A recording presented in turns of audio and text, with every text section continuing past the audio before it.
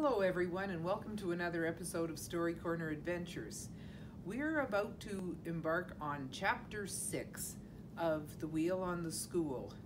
Now, you will recall at the end of Chapter 5, after Pier and Dirk had finished talking with the owner of the cherry tree, uh, they encountered Jella and Eelka, and we have no idea yet why they have pieces of a wheel and why they're soaking wet, particularly Jella, uh, who we saw at the end of chapter 4.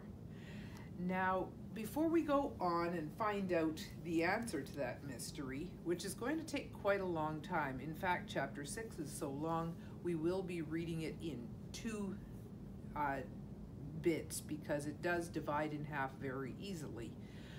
Before we do that, let's just review the parts of the wheel because you'll need to know the parts of the wheel definitely for this chapter. So we've got the hub, which goes onto the axle of the cart. We have spokes, which hold the hub to the center of the wheel and keep the wheel round and true. The spokes of this wheel are made out of wood. We have the inner rim, which are made of sections of wood, and the outer rim, which is one long continuous iron band. Okay. Now, as the last two chapters did, this chapter overlaps in time.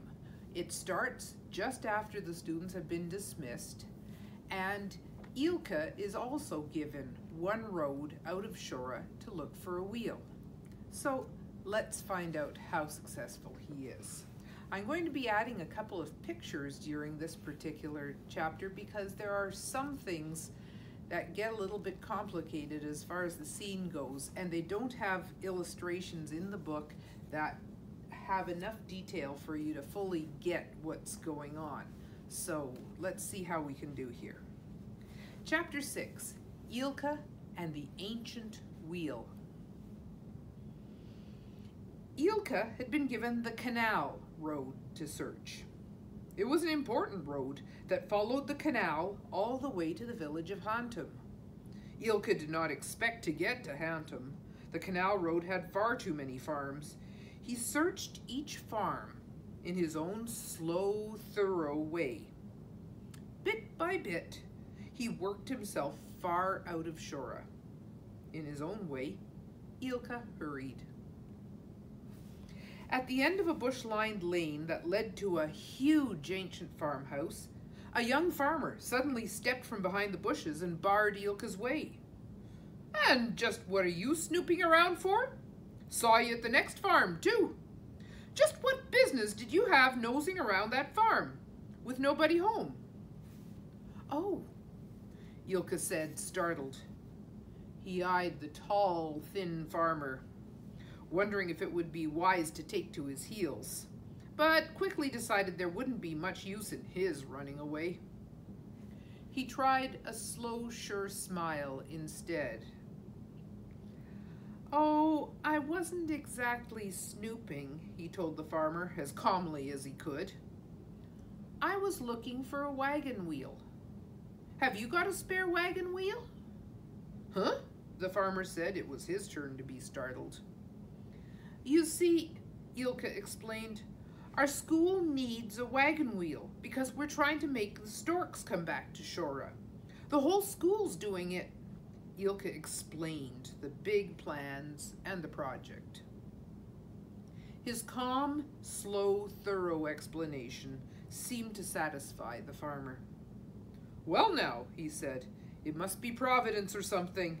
To keep an eye on you on that next farm, I climbed into the hayloft of our old second barn. We haven't used that hayloft since my great-grandfather's days. But what do you know? There's an old wagon wheel there. If it's a year old, it's a hundred. I didn't know it was there.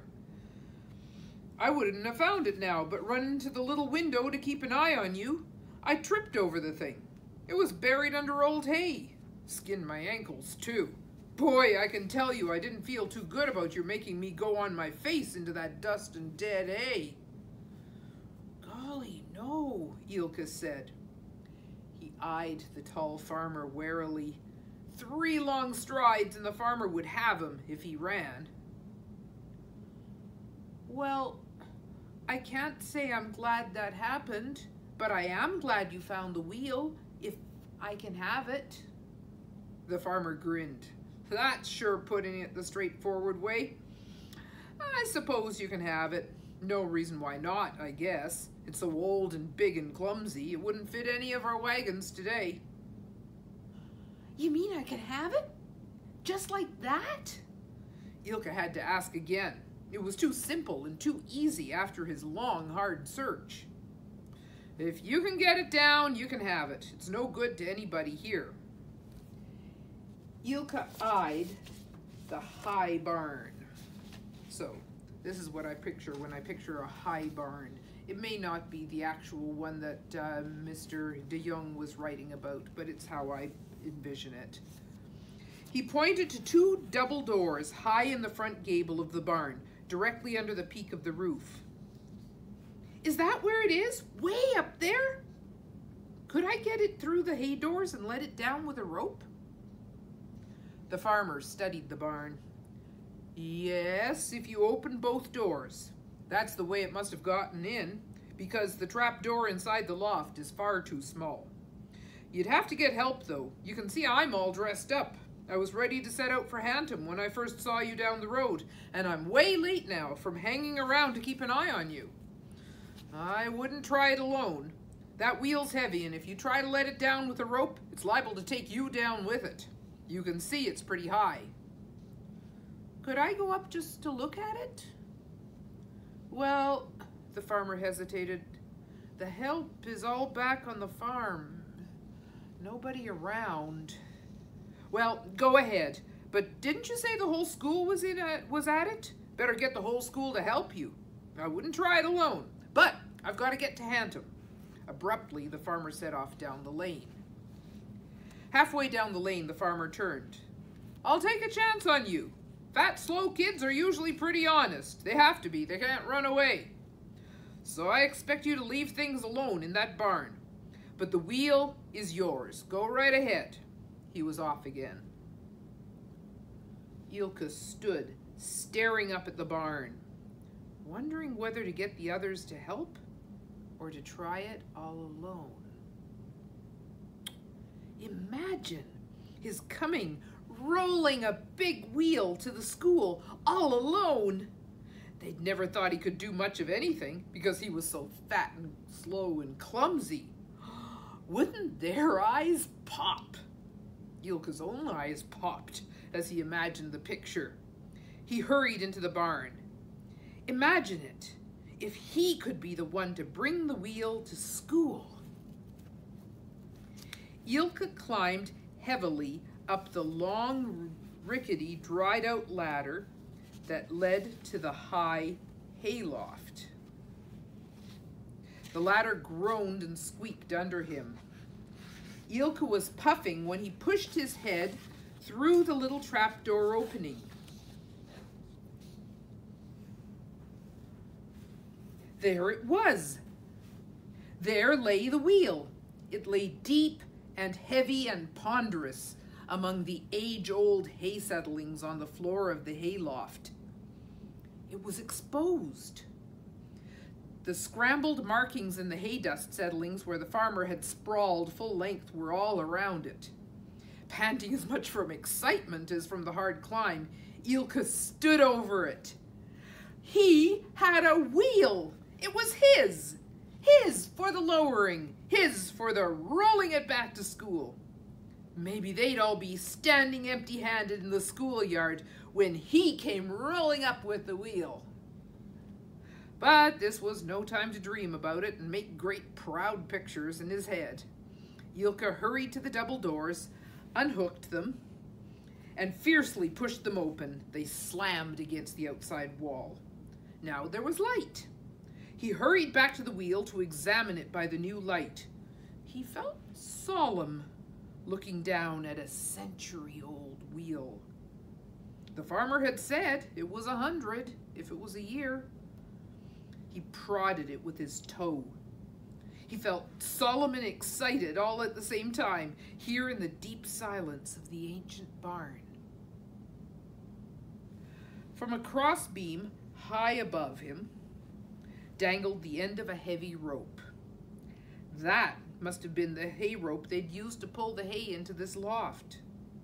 Maybe it was a hundred years old, too.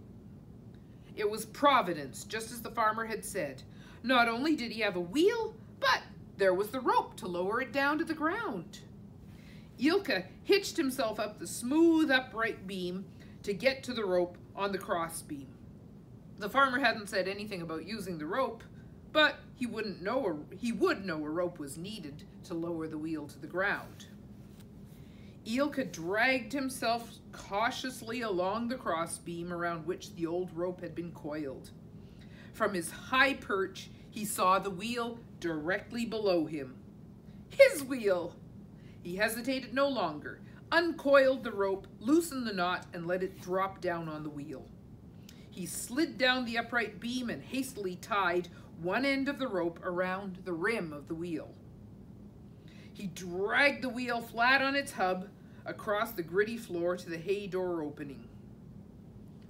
On hands and knees, Eelka leaned out of the high barn.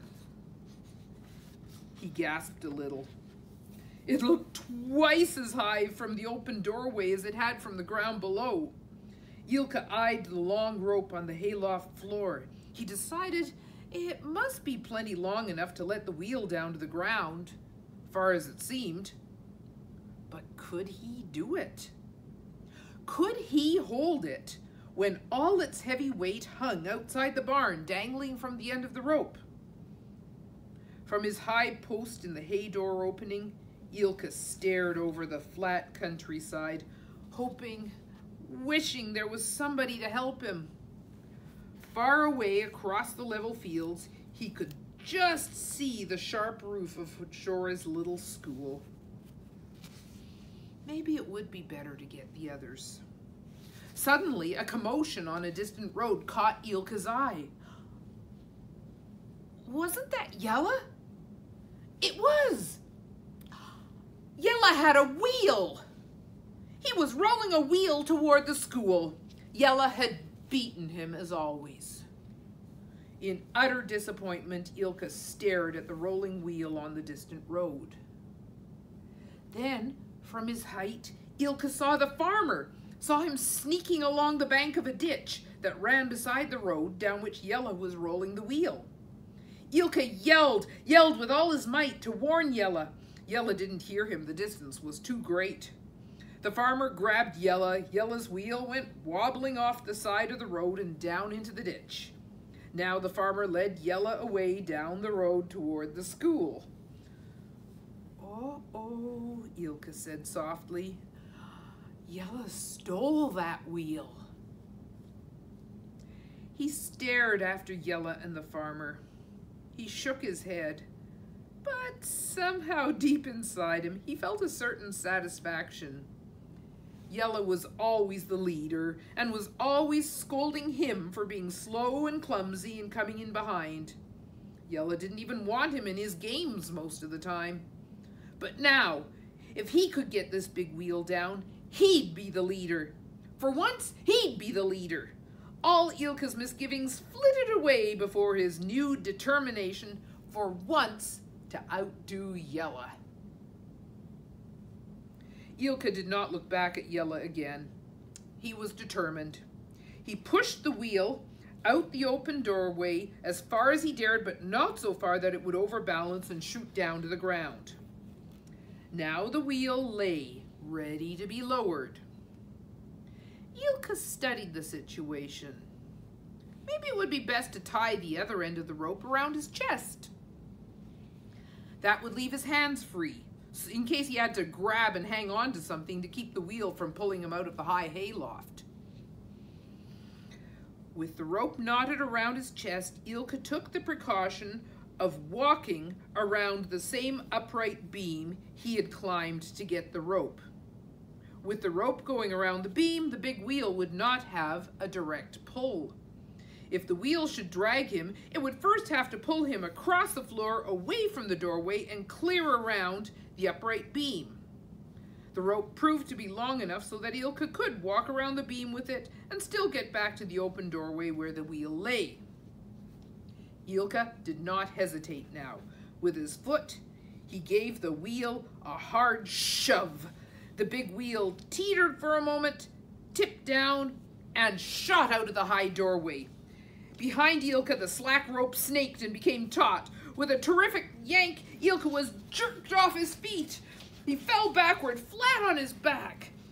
The flying rope dragged him through dust and stalks toward the upright beam. Eelka had his sense enough to put out his hands to keep from crashing head first into the beam.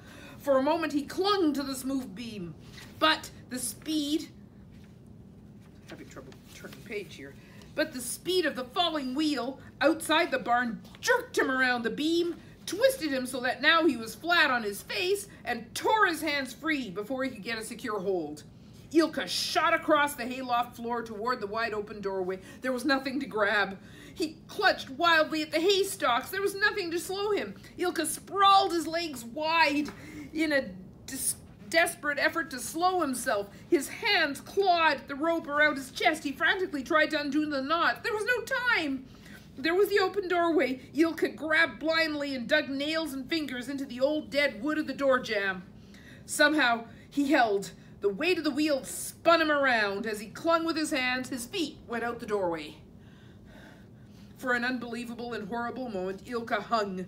His shoes flew off his feet and because the moment seemed so long, it seemed to take time before he heard his shoes hit the hard-packed ground below. He scrabbled for a stronger, surer hold on the worn door jamb. Then a horrible yank shook through his whole body. The rope wasn't long enough. The wheel was hanging above the ground, hanging from him like an awful pendulum. The rope around his chest slipped down there was a brief, blind moment of hope that it would slip right down his dangling legs and off him, but the rope caught around Eelka's thick waist.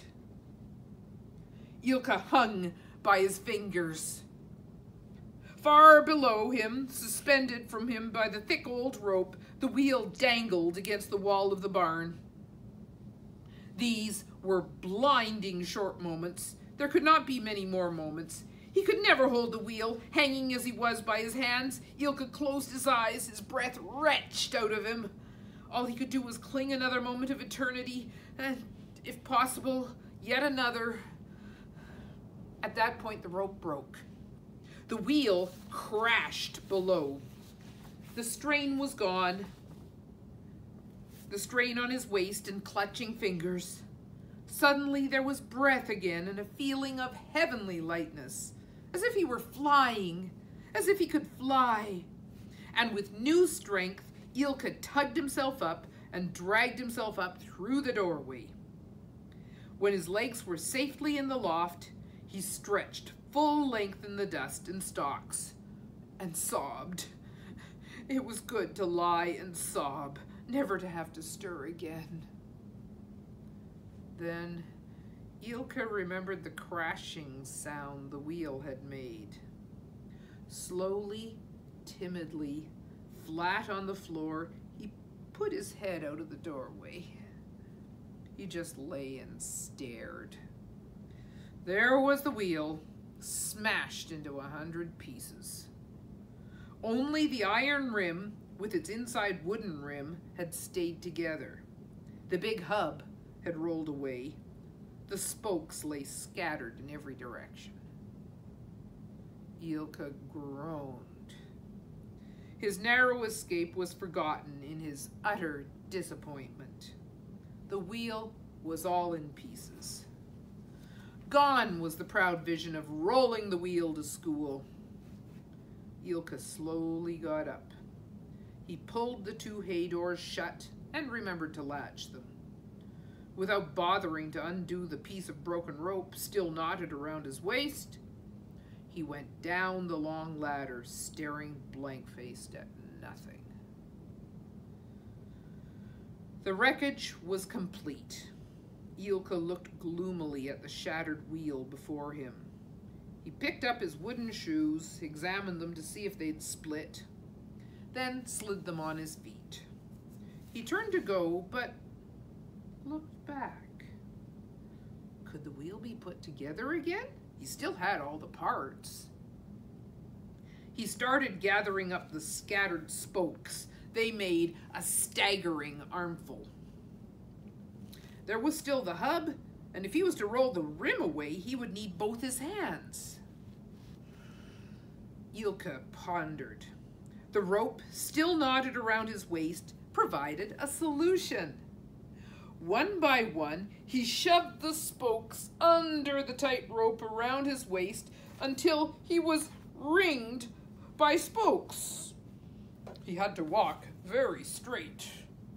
He could hardly stoop to pick up the heavy hub. But what to do with the hub? He couldn't carry it in his hands because his hands had to be kept free to roll the rim to Shora. Walking stiffly in his clumsy corset of wheel spokes, Eelka went to the rope that lay over the rim. By jerking and snapping the old rope, he broke it. It unraveled and parted, strand by strand. Now he had a short length of rope. He tied it around the hub, lowered the hub carefully over his shoulder, and tied the other end to the rope still knotted around his waist. There! That solved the problem of the hub. Now the rim.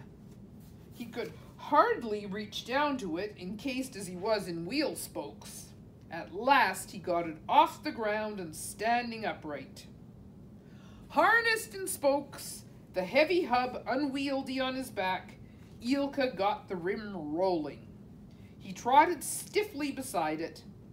Down the farm lane, the wheel rim rolled very nicely, but on the rutted canal road, it developed a mean tendency to bump down into one of the two wagon ruts or to hit pebbles and suddenly veer toward the deep canal. Eelka couldn't move quickly. He could only do one thing Whenever the rim veered toward the canal, he knocked it flat before it could plunge into the water. The straining, struggling Eelka was soon drenched with sweat. He grunted and, pad, uh, and panted, but always he picked the rim up again and rolled it on, determined somehow to get it to Shora. He got better at managing the jumpy rim. He found that by keeping it in one of the deep wagon ruts of the canal road, the rut made sort of a track for the rim. Now he was beginning to make progress. The rim rolled down the rut. The loaded Eelka trotted beside. At this pace, they'd soon be in Shora. We're going to take a break for a little bit, and you can find the second half of chapter 6 elsewhere here on the site, Story Corner Adventures. Thanks for listening. See you soon.